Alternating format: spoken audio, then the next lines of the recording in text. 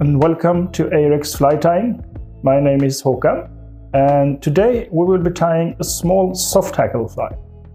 We will be tying a classic partridge and orange. Uh, it's a quite simple pattern but it's easy to overdress the fly so you need to think about a couple of things before you tie the fly. The hook I'm using is the Ahrex 562 short nymph. And the fly just contains two materials. Of course, the partridge hackle and orange tying thread.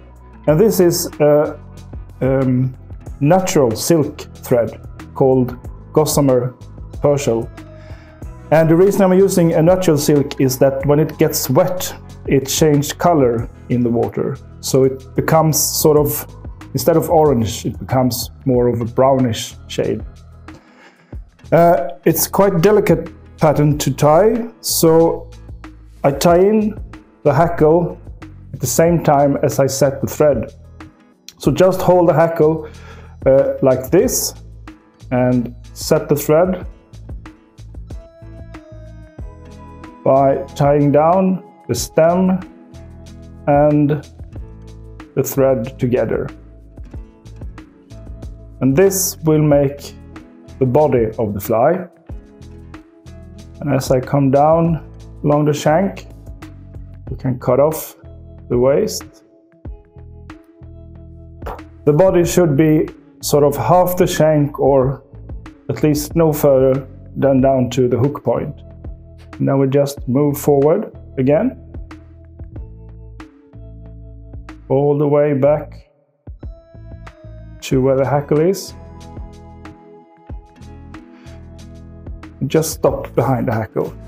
And then I'm using a rotating hackle plier like this because it's easier to do it when you have the hackle in front of the thread using one of these. So just